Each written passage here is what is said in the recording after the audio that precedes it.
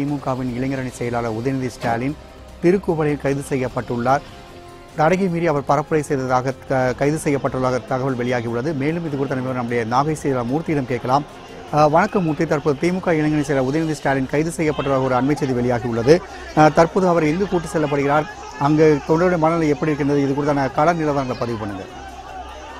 வணக்கம். ரெண்டாயிரத்தி இருபத்தி ஒன்னு சட்டமன்ற தேர்தல் பிரச்சாரத்தை தொடங்கி வைப்பதற்காக நாகை மாவட்டத்துக்கு உட்பட்ட திருக்குவலைக்கு வருகை தந்த திமுக இளைஞரணி செயலாளர் உதயநிதி ஸ்டாலினுக்கு கீழ்வலூரில் உற்சாக வரவேற்பு அளிக்கப்பட்டு அதனைத் தொடர்ந்து திருக்குவலையில் கலைஞர் கருணாநிதி பிறந்த நினைவு இல்லத்தில் கருணாநிதி மற்றும் முரசொலி மாறன் திருவுருவச் சிலைக்கு மலர் மாலை அறிவித்து மரியாதை செலுத்தினார். பின்னர் தமிழகத்தை மீட்போம் என்ற நிகழ்ச்சியை துவங்கி அதன் மூலம் இரண்டாயிரத்தி இருபத்தி ஒன்று சட்டமன்ற தேர்தலுக்கான பிரச்சார பரப்புரையை தொடங்கினார்.